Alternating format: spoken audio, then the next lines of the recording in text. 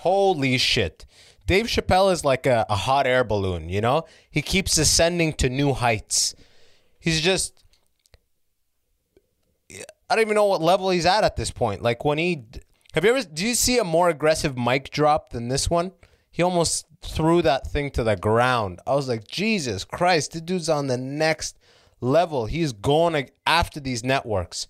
I don't know if you listened to my episode uh, about a month back or so. I said, uh, what was it called? Uh, Don't Touch My Money or something like that. It's about that book I'm reading. It's called uh, Everything You Need to Know About the Music Industry. Wow. It's amazing how this all tied right back to that. I knew I had a gut feeling. I was in I was in um, Value Village rather, just walking, and I saw that title, and I just remembered all of the artists. Like this at this point has been said, the outcry for uh, artists like going up against not necessarily going up against the system, but just being like, man, the system is like some next slavery shit, you know we've we've seen it all, right? Like I don't know if you ever read the the the new Jim Crow. Maybe I'll do an episode on that next time. But essentially, after Jim Crow laws they fell, so segregation ended and everything, and black people could be integrated fully. You know, and it's still even till now they literally aren't. Like Black Lives Matter is a fucking movement right now in 2020 and Jim Crow fell in like the 50s or the 60s, right? So goes to show you how the slow the pace of progress really is. But pretty much to replace the old slave master dynamic, they did like that Jim Crow where they were essentially arrest you for anything and put you into the uh, they'd send you off to go work for free essentially in prisons as a slave, but it's not slave by the book. No, you're a felon now. And then when they did the war on drugs in the states, what that they announced, that I forget who announced it, Reagan or whoever in the 80s or the 70s or the 90s, especially when crack came about. That was all just be, you could take away everybody's human uh, person's human rights as long as you call them or deem them a felon or a convict. Then you can strip them totally of human rights and it's okay. And you can put them through essentially the same factory farming system that slavery used to be as far as factory farming for labor or uh, you know like poor black people are worth more to corporations in prison than they are like out free right because they get paid x amount of dollars whatever it is 30 40000 dollars a year to keep a prisoner alive so it's funny how even in art the same shit happens what chappelle said about prince was amazing. I didn't even know that.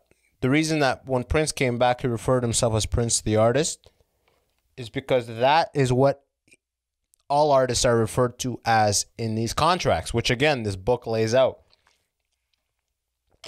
And I had no idea that when Chappelle walked away from the Chappelle show, he got paid nothing. I mean, it makes sense now that you walked away, you um, you breached your contract you know you obviously have, you have to finish the whole term for it for it to be able to for them to pay you and for them for you to um, uh, essentially vest it's just like getting a job where they go you could have these stock options every year 25% vest you need to stay four years to get 100% of your op they probably did a similar thing where you have to finish it per their whatever so that's crazy. This whole time I thought he got paid because I remember, if you remember back in the day, Chappelle Show season one or season two, I forget which one it is, the highest selling DVDs ever for a for a TV show, that ever.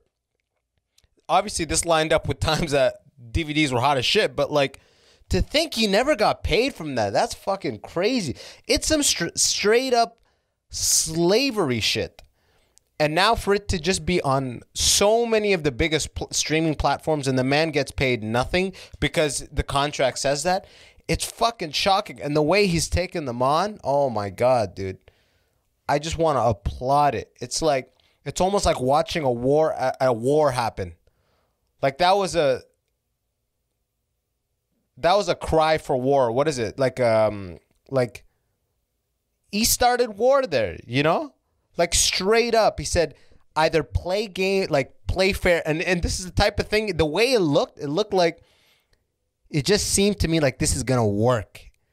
I, I watched it twice. I watched it again this morning. Like I did some meditation, and for some reason, after I meditated, the first thing I was like, I gotta watch Unforgiven again. I watched it last night, but it's like this is gonna do something. First of all, it's five million views already. Uh, such a G. Th- Chappelle's Instagram is such a perfect representation of this man.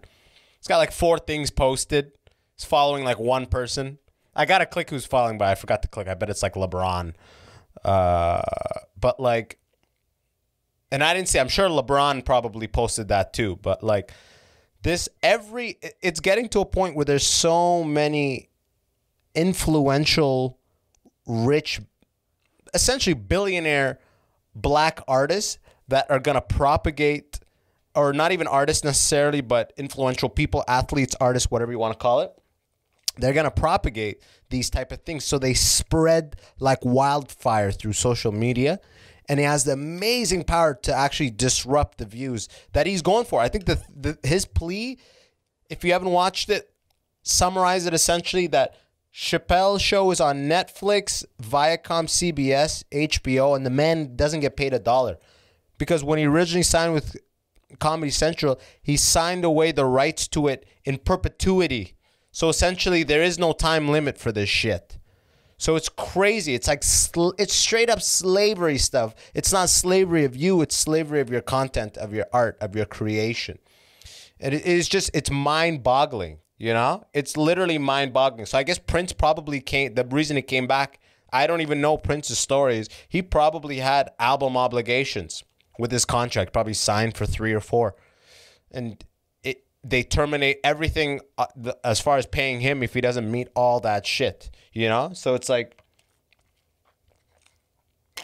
from the outside it looks incredible. So what's beautiful is that huge 50 million dollar paycheck Chappelle got or 60 million. Remember when he first came back out and he did the Equanimity or whatever it's called, and the other one I forget. He dropped those two specials and he got like, oh no, no he got it. It was a three special deal. He had two ready and then he dropped another one. I think it was, but he got sixty for that, and that is the universe almost paying him back for his dues of what was owed for Chappelle's show. Because the man, I guess, never got paid for that. Maybe got paid for season one. I or he got paid for just the acting and the union fees for it while he was there, but he never got paid for all of the royalties and streams and licensing deals that have been made from it as a result of this super sought after show. He never got to touch that. They just paid him for like here's your 600 a day for like acting for whatever the days it, it took to shoot. I'm I'm guessing I don't really know, but like his anger in that thing it's crazy. It's like you feel it. It's like, "Whoa, I didn't even know you could do this shit." He's on the next level. He's just I don't it's it's something I've never before seen. Like declaring war was essentially one of Chappelle declares war. I think that's what I want to call this, you know? It's unbelievable. Like I what will become of this? I think he's going to lay out the foundation for something that all artists will be able to have as a reference, you know? like reading this book it already armed me with like all this type of knowledge but at the same time in that special he says he had a, he was expecting a child and what could he do? I mean it like it looks like a good deal so to speak so what what are your options at that time you know? Like you eh, you shop it around nobody wants to touch it and you just want it to come to fruition.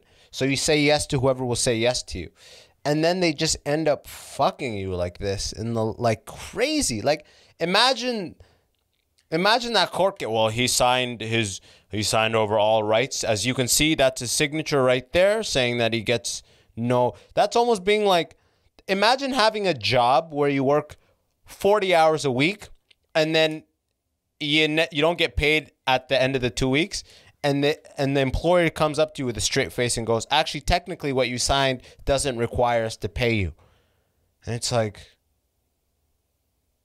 but don't you want me to continue work? Don't you like? There is no plan. There's nothing in it built for longevity or for the artist to actually develop a long going relationship with the platform or with the network. It's the most greed, robbery shit you've ever seen. This person does not understand the language, and we're going to exploit them for everything that they end up creating. Because I assume when they sign these things, they they they assume it's a dud, right? They uh, like think about how many hit shows like this have there been. Chappelle show, I guess Key and Peele was pretty big. Uh, you should leave that one on Netflix. I think you should leave or whatever. That's really funny. Um, Chris Rock's was canceled, but that was on the Chris Rock show was on for a couple of years. But like, there hasn't been a lot of people sketch style shows that have hit a home run like this. Nobody, nobody has hit that level of home run. So I think all of those they probably signed a million of those contracts where it's like what the person ended up creating was garbage. So it's like you never really hear back for it. Eh, it doesn't really matter at the end of the day. But when you create gold and the technicality of the contract lets them just use it 100% without paying you, it's how is that not slavery? It is akin to killing a man, like he said. And it's amazing, especially as a comedian. Just the way he spoke, the way he tied those stories together, it's a it's a lesson that in in stand up, I don't even know what he's like a philosopher level at this point. This nigga is philosopher level at this point. That's not even I can't even I'm like at a loss for words as you can see, but it's like it goes to show that if you if you say something profound is on the same level as something hilarious. You know? You could jam pack it. This was this special was more jam packed on the profound than it was on the funny and he peppered in funny here and there because he's Chappelle. He does how he does, right? But it just shocked me that I'm like, man, this is I I just want to keep. It was just like eight four uh, eight minutes forty six seconds. The video he did on the um, on uh like eight months ago. You know, wow, look at that. I literally forgot the dude's name that got choked out. What's that? This is on me, obviously, but at the same time, this goes to show you how these movements really work. But then again, I'm not like the biggest like guy with a flag, just being like, oh, this shit's. But it's like that guy was important. That na- his name was important, but there's so many of these Ahmaud Arbery and Breonna, like whatever, like so many of these names come and go. Now I feel like shit. Now I have shame for not remembering. I can't breathe was said. But like it just goes to show you that ultimate level storytelling it, there's nothing that replaces it. There's nothing that replaces that ultimate high level of storytelling. It's almost it when Chappelle talks, I I almost think of like an elder of a village addressing a small group of people. Like the way he brings stories in. It's like that was I can't even put it to and the, the mic drop at the end. I just don't even know what to make of it. I wonder what will happen in this. What will the networks do? The fact that Netflix is that clutch, that's something you never see. And he even said it himself. He's like the fact that a businessman or we'll say a business, you know, entity was able to prioritize his own feelings and his strife against money bags is crazy because they ob- they obviously paid to licenses from whoever the owner is, Comedy Central, whoever I guess Comedy Central is licensing it to all these people. So does that mean they paid Comedy Central whatever a million, five hundred thousand, whatever it is to have it on for two years? I don't know what the number would be, maybe way more. But they just forewent that loss. They took that as a loss just to preserve the relationship with Chappelle. Is that what happened, or were they able to get out of their contract? In either way, it's like, yo, I salute Netflix. I salute Netflix, you know, for doing that. Just being like, yo, they're like, they know this man is, they want to be on the side of Dave Chappelle. So they're like, this is easy money. This is small money for us right now. We're such a massive platform. Let's get rid of this to appease this amazing, gifted contributor that is an ally of ours right now. And the last thing I want to do is piss him off because I think what Chappelle showed in this thing is that he is more powerful than the than these net. I mean, if that thing just on his page has five million views, God knows how many I, I Cedric the Entertainer, uh, DL Hughley. I'm assuming, like I said, LeBron probably did. LeBron loves to just make sure any like black issue is propagated. LeBron's on some next shit too. He's once he retires from basketball, it'll be interesting to see what that guy ends up doing. But just blew my mind. Like, yo, this is gonna work. I would love to just be able to see what the numbers were before this special drop, like on HBO Go, uh, on Vi, on all these platforms that stream it. I would love to see the before and after, and day by day, one day after Unforgiven releases, two day after Unforgiven, releases, three days. I want to see what that plummet looks like. Cause I'll be honest with you, I torrented season one and two. You know, and Chappelle's my guy. You know. But times are tough. The man would understand. Yo, Chappelle, if you're watching this, you get it, man. I grew up on that stuff.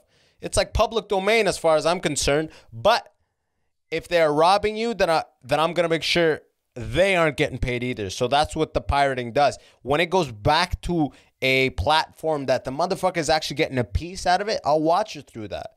But until then, yo, stream it online. Don't let any of these people get paid. That's crazy. I had no idea they never paid this guy a dime. It's just crazy. Yo, yo, it's Abbas Wahab. Uh, that was a clip from this week's Patreon bonus episode. If you want to catch the rest or get access to weekly bonus episodes, just go to patreon.com slash the immigrant section. Uh, otherwise, episodes are going to keep coming out every Tuesday, same place, same time. If that's not enough for you, you got to become a certified refugee at patreon.com slash the immigrant section. Weekly bonus episodes and more. Join the immigrant revolution, y'all. Uh, until next time, peace.